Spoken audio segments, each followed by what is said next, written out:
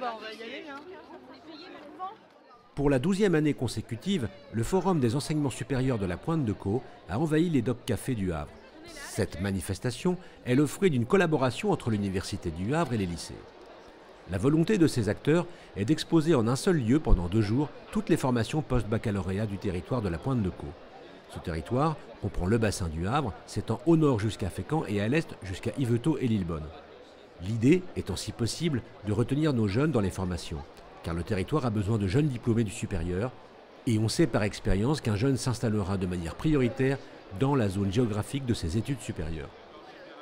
Par ailleurs, c'est également l'opportunité pour nous de montrer la dynamique et la variété de l'offre de formation de notre région et de fortifier la liaison enseignement secondaire-enseignement supérieur. Pour moi, le but de cette journée est clairement d'orienter les élèves de terminale vers les formations supérieures.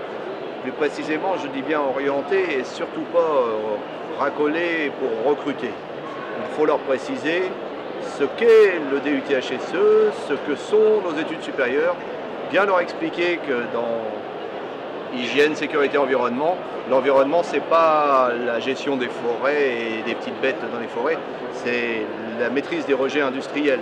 Donc clairement, le but est d'apporter des précisions concrètes sur notre formation, qu'ils comprennent ce qu'ils feront si jamais ils candidatent chez nous, qu'ils ne candidatent pas au hasard.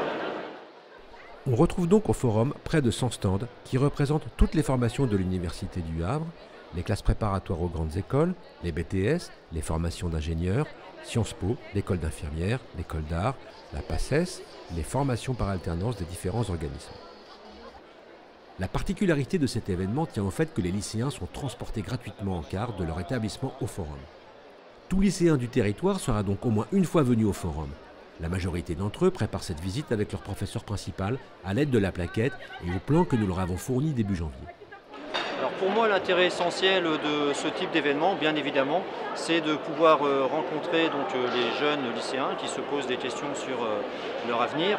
Et ça a au moins le mérite de présenter nos formations, qu'ils les découvrent, qu'ils en sachent un peu plus sur le contenu de nos enseignements, les débouchés bien évidemment, et puis euh, les conditions aussi euh, bah, du déroulement de la formation.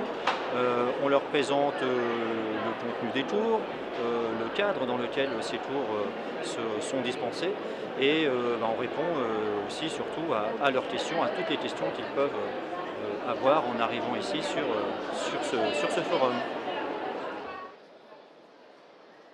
Ce forum est donc devenu l'événement majeur pour l'orientation post-bac dans le territoire de la Pointe de Caux.